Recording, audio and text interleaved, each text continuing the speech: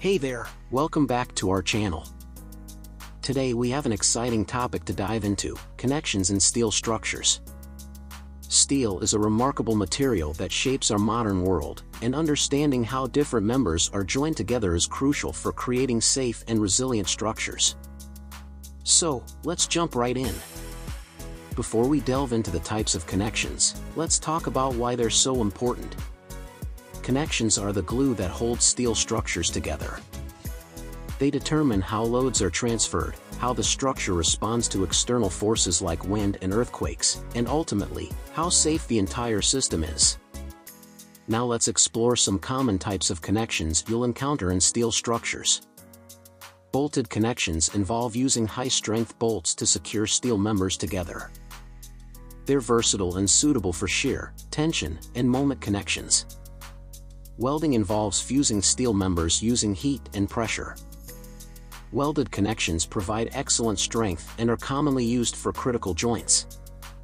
Moment connections allow for the transfer of bending moments between members, enabling structures to resist lateral loads and provide stability. Shear connections transfer shear forces between members and are essential for various applications, like floor framing systems tension connections transfer axial forces, which are crucial for elements like tension rods or hangers. Column base connections secure columns to their foundation, transmitting vertical loads and moments. Trusses are composed of interconnected members, and proper connections ensure their stability and load distribution. Bracing connections provide lateral stability and must resist both axial and lateral loads. When designing these connections, engineers take into account factors like load types, member sizes, material properties, and construction methods.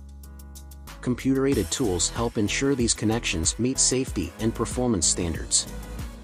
Remember, designing connections requires specialized knowledge. Always consult with qualified structural engineers to ensure your steel structure is safe and reliable. And there you have it, a brief overview of connections and steel structures. From bolted to welded, moment to shear, these connections play a vital role in shaping the world around us.